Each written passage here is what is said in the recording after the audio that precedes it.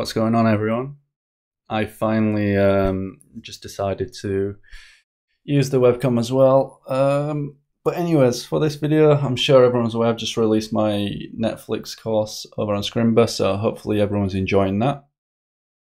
Um, it feels weird speaking in, well, to a mic and a camera. The mic's not too bad, but the camera, it's a bit weird.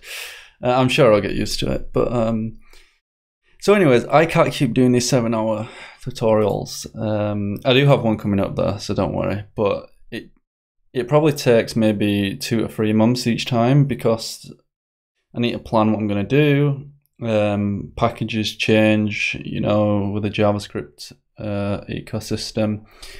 And well, essentially, I thought, what can you get more value out? Yes, you can get more value if you're beginner out of maybe a five, six, seven hour course um, building an entire application.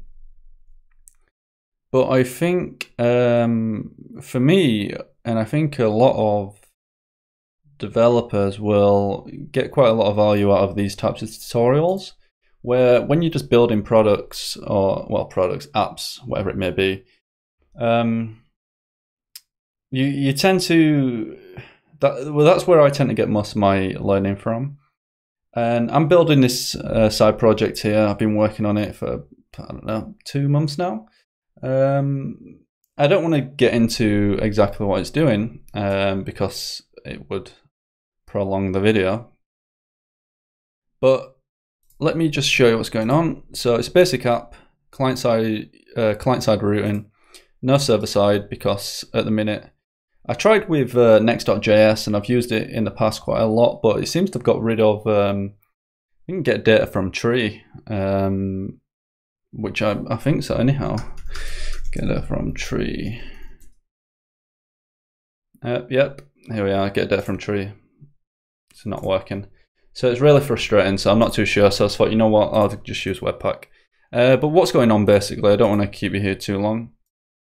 Is when you render out this initial homepage, and I'm using Webpack to bundle this. Um, now I can show it here. Uh, Webpack dev. Um, yeah, so what's going on here is um, I am splitting the code, so I'm splitting the chunks, and you're getting like the vendor bundle, which is nice. But when you're going to app, you'll see it pulls in, if I just pull this over, and I'm sure everyone's run across this issue with code splitting. Um, you'll see here like it's pulling in the components, it's pulling in the header. Um, but more importantly, as you can see in the app, not this one, is this the one? Uh, what, what have I been working on? Let me just reset this. Um, let me see here. reset this. Um, Let's have a look at the app again. So what's happening is I'm pulling in a sign-in page. So the sign-in page should look like this. Uh, it looks it looks quite good. Um, it's not too bad. But I don't want this to come into the initial um, homepage bundle.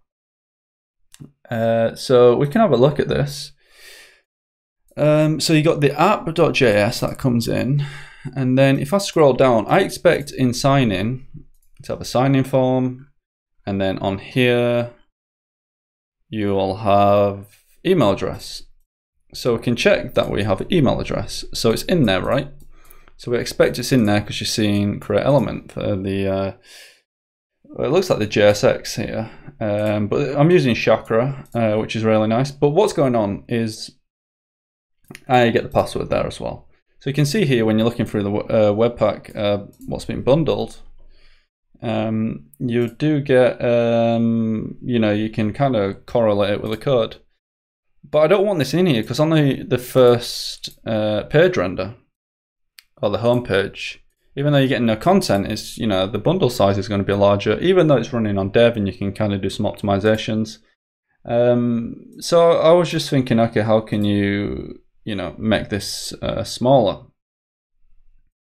So what I did, I um, what are we on here? Get rid of that.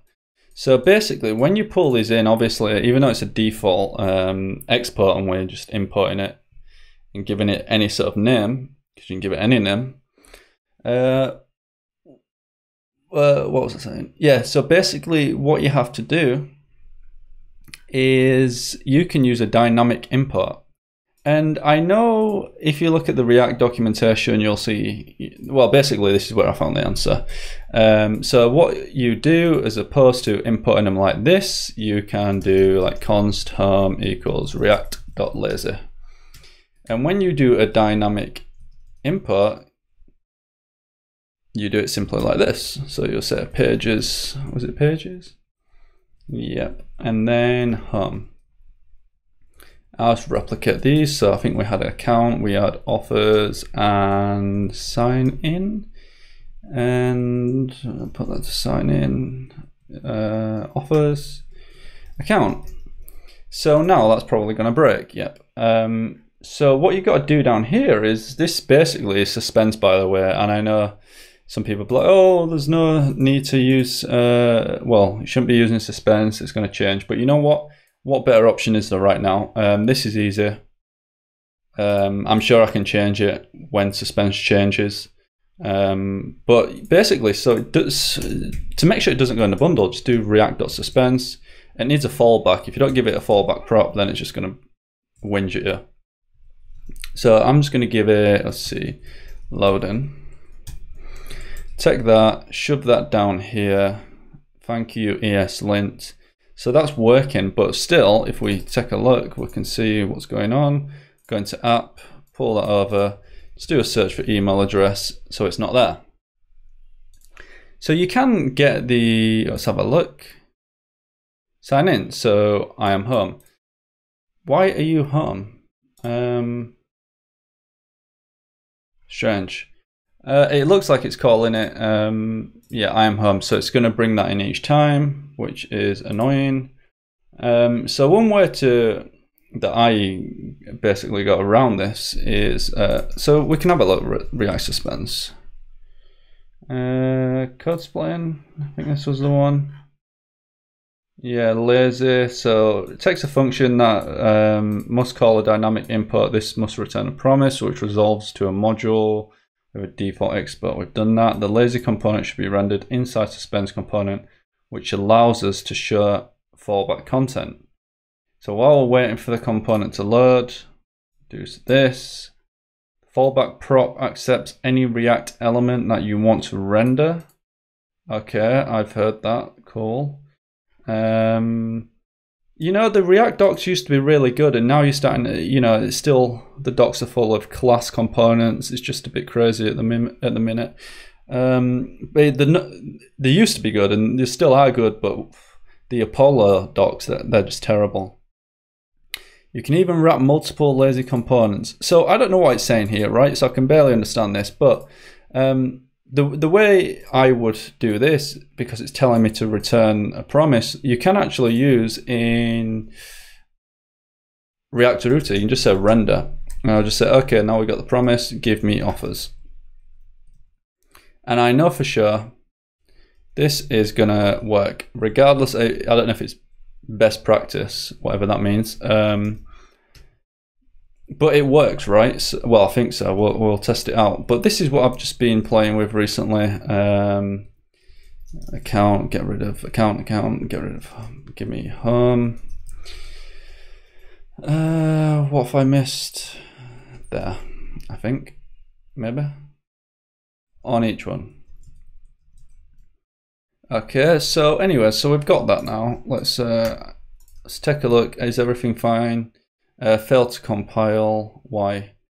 Um, React suspense fallback. Looks right. What happens if I just refresh? Uh, close that. Uh, let's see. Open up here. So it's quite a big app that um, I built. It's gone a bit crazy. Um, I probably should should have used something like Amplify um, or just some I don't know some serverless uh, architecture because managing MySQL, GraphQL, it's getting a bit of a pain to be honest to build you know a small app. So anyhow, I am home. Okay, so I think what happened there. Um, so that's been rendered. Okay. But it seems like that's not coming out. Hmm. That's strange. Why is it giving me I am, I am home? Uh, home. Very strange. Hmm. So we've got page wrapper, that's nothing to do with it. It's uh, home. This is the first time I've seen it do this, which is uh, very weird.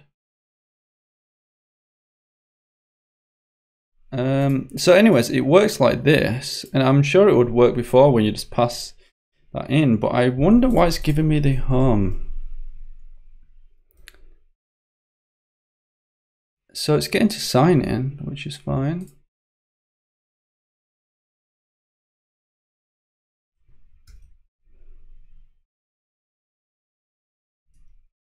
Okay, let's give it harm again. So I am harm. What the? How's it doing this? So anyways, let's just debug this. Uh, what we're looking for in here, harm. What is, are these tools even working? Seems the route seems messed up. Okay, let me just check this and I'll be back in a second. All right, I know where it was. Um, a very stupid one. You need exact on here. So I've totally forgot to put that on because what's going to happen is this is going to be like slash, yeah, offers, slash offers, right? So the first bit here is going to fall down to the last one, which is here. So unless it's, if you don't have exact on there, it's, it's you know, it's going to uh, do that. So let's give that a serve. So now if I check the bundle, um, up, we go down, you search for email address, it's not there. It's not being pulled in, uh, which is nice. And what was I on there? Um, so you see it's not in the app, but I mean, what is it in? So we can check runtime. It's not in there either. So what you'll see when you go and inspect, it's going to get injected. Let's take a look. So you won't see it there, but if I do a refresh, do JS, here we are. So a look, email address, there it is. Okay, so yeah, it's basically splitting them up, and it's been it's been quite smart in regards to the code splitting. So you see here, I've got my mutations from GraphQL. Um, this seems one of the best ways, I believe, to code split if you're just using uh, client side this will not work on server side, um, especially doing like you know dynamic inputs. So I don't know if there's a server side solution, or the, I think there's actually it's um, what's it called? React Loadable. Yeah, so check that out. That was just a quick tip as to um, basically you know get the bundle size down. I'm not even too sure if React Router are going to be keeping render. I mean. Um, I think they are. If not, you can you know simply remove it and then if you put these, you know, as a uh, as a child, um, I think it'll work the same. But you know, test it out. That's what um, I got to work to get my bundle size down, and there's just no need for me to load it on here now. And then let's have a look what's in number three because we had one, and there we are. You just get the home in there.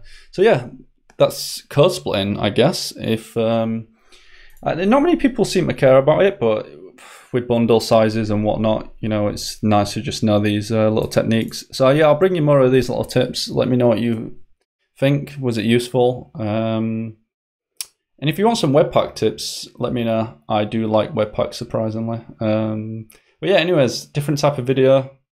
Hopefully you enjoyed it. See you in the next one.